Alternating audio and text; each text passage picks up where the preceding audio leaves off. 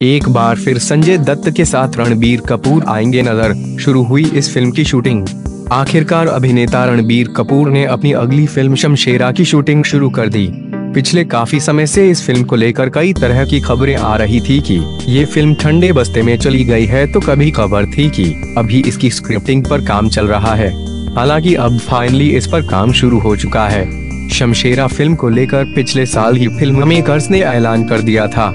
Film में संजय दत्त और रणबीर कपूर साथ नज़र आने वाले हैं। दोनों अभिनेताओं की बिज़ी शेड्यूल के चलते ये फ़िल्म लगातार देरी का सामना करती रही और इसकी शूटिंग शुरू में देर हो गई।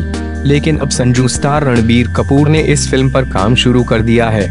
बॉलीवुड स्टार रणबीर कपूर इन दिनों अपनी इस फ़िल्म को लेकर लद्दाख में है। लद्दाख में इस फ़िल्म के कुछ हिस्सों की शूटिंग की जानी है।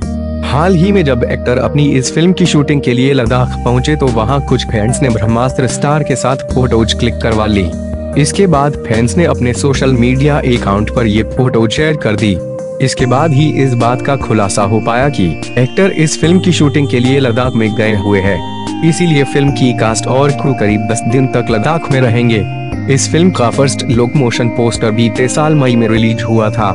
लेकिन अब जाकर ये फ़िल्म फ्लोर पर पहुँची है। इस फ़िल्म में रणबीर कपूर के साथ लीड रोल में वाणी कपूर है, जबकि फ़िल्म को डायरेक्ट कर रहे हैं करण मल्होत्रा।